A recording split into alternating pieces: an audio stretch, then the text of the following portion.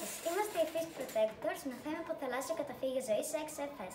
Χατζίβε οι Fish Shelters. Βρισκόμαστε στα Φωκονήσια, χαμηλό νησάκια, βόρεια της Αστυπάλα. Έχουν μικρό μέγεθος, χαμηλό υψόμετρο και ψυχιστολιθικό έδαφος. Το επίμηκε σχήμα τους στην κατεύθυνση βορρά-νότου τη προσφέρει προστασία από τις ισχυρές βαριάδε. Έτσι λοιπόν αποφασίσαμε εδώ στη Φωκονήσια να δημιουργήσουμε το δικό μα υποθαλάσσιο καταφύγιο ζωή XFS.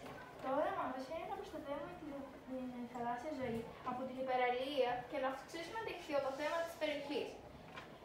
Και, και να δημιουργήσουμε ιδανικές συνθήκες αναπαραγωγικού βιότητα. Επίσης θα, θέλ, επίσης θα θέλαμε το καταφύγιό μας να γίνει ένας νέος τουριστικός χώρος έξι, στον οποίο όλοι θα μπορούν να θαυμάσουν την ποικιλία του βυθού της χώρας μας, δίνοντας έτσι ζωή σε μια έρημη βραχονισίδα.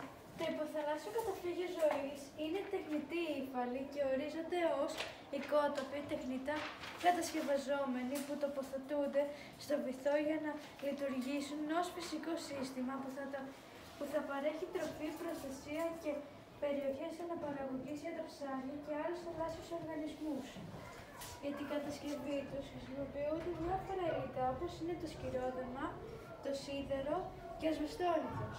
Εμείς επιλέξαμε για το υποθαλάσσιο καταφύγιό μας τη χρήση του τεχνητού ύφαλου τύπου Standard Style.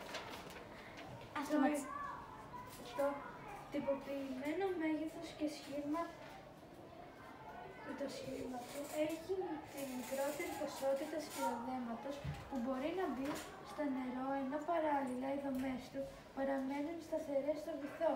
Οι Fish Protectors δίνουν τη λύση για την προστασία του θαλάσσιου βιότοπου με ένα σύγχρονο καταφύγιο ζωής στο βυθό των φωκονισιών. Αυτοματισμός 1.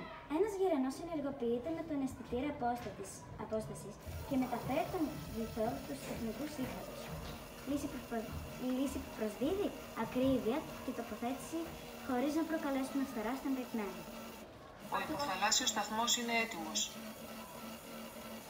Αυτοματισμός 2 με χρήση web camera. Ένας δορυφόρος τοποθετημένο στην Μελαχόνισιδα κινείται με κυκλικά ρεύματα στην περιοχή και τυχόν προσοχή Παρακαλώ, απομακρυνθείτε προς προστατευμένη Όταν περιοχή. εντοπίσει κίνηση ή αναγνώριση εικόνα, ενεργοποιεί το Superbot, το οποίο κινείται προς την περιοχή του δοκισμού και εκπέμπει το μήνυμα προ- προ- Απομακρυνθείτε προς την επόμενη περιοχή. Στη συνέχεια επιστρέφει στη θέση του και εκπέμπει το μήνυμα. Το αντικείμενο απομακρύνθηκε. Η λύση που προσδίδει είναι η προστασία της περιοχής από την παράνομη αερολία και ενδεχόμενη καταστροφή, δόλια καταστροφή του τεχνητού ύφαλου. Αυτοματισμός 3 με χρήση Microbit. Το Microbit δίνει πληροφορίες για τη θερμοκρασία του νερού στο, για τη θερμοκρασία του νερού στο υποθαλάσσιο καταφύγιο.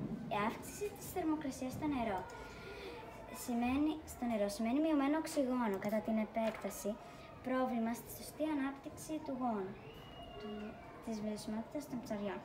Η αύξηση της θερμοκρασίας του νερού προέρχεται εκτός από γενικό φαινόμενο της κλιματικής αλλαγής. Και από αυξημένα περιτέματα ψαριών και υπολείμματα τροφών τους. Τότε ενεργοποιείται το Crab Robot, το οποίο καθαρίζει διαλύοντας με ειδικό λέιζερ τα περιτέματα των ψαριών και τα υπολείμματα τροφών που συγκροτούν πολύτιμο οξυγόνο. Λύση που προσδίδει τη βιωσιμότητα των ψαριών, προστασία του γόνου για τη σωστή ανάπτυξή του, μακροβιότητα του, κα- του καταφυγίου, αποφυγή μειώσεω των ψαριών λόγω μόλυνσης ή έλλειψης οξυγόνου. Σας ευχαριστούμε. Το όραμά μας είναι να προστατεύσουμε τη θαλάσσια ζωή από την... Γεια.